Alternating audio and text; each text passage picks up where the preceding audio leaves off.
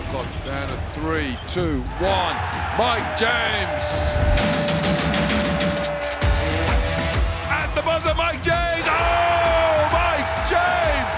Oh, my word.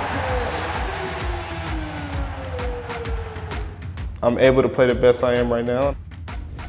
I will have the best years in front of me. Well, we almost read that from half court. What a pass from Mike James and the power finish.